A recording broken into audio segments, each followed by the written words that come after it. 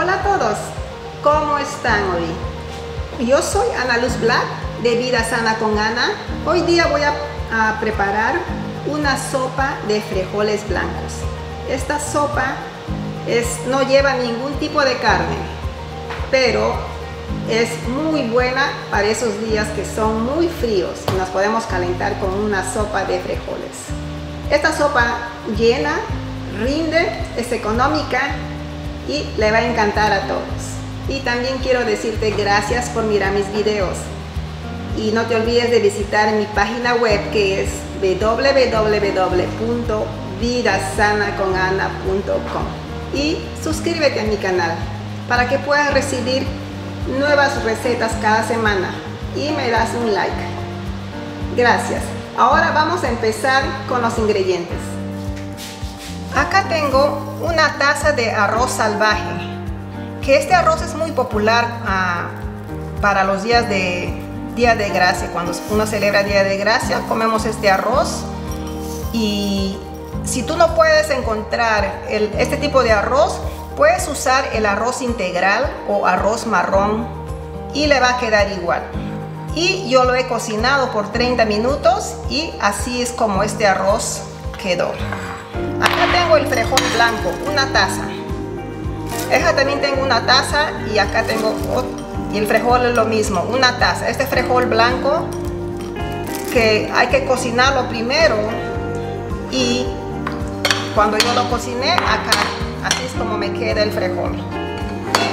Tengo una taza de, no, tres zanahorias que lo he picado en cuadrados, media cebolla, tres tiras de apio. Acá tengo los cashews o las semillas de cashew, media taza, que si no puedes encontrar también esta, puedes usar media taza de almendras. Tengo dos cucharadas de ajo,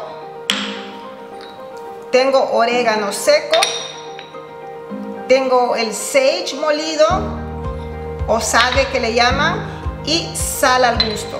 También voy a utilizar 8 tazas de agua, aceite para freír y pimienta al gusto. Voy a remojar las semillas de, de cashew con agua y lo voy a reservar. La olla ha sido precalentada, voy a poner un poco de aceite y voy a empezar con las zanahorias y lo voy a freír muy bien. Ahora voy a agregar el apio picado y lo voy a freír por unos minutos mezclando siempre bien. Ahora voy a agregar la cebolla y hay que moverlo constantemente. Mientras mejor fríes tu aderezo, más sabor va a tener la comida. Esto cuatro minutos más. Estoy echando ahora el orégano seco, la salvia, la sal y los ajos molidos.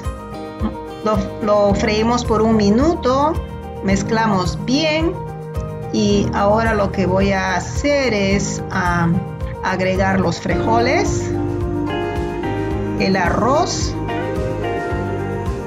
y las 8 tazas de agua y mezclarlo bien hasta que empiece a hervir.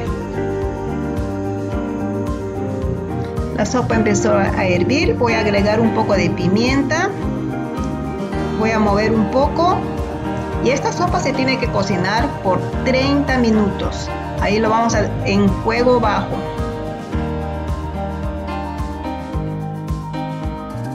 La sopa está lista, pasaron 30 minutos, voy a licuar las semillas de cashew remojadas y lo voy a licuar con el mismo, caldo, con la misma sopa. Puede, puede tener zanahorias o el arroz, pero le sale riquísimo.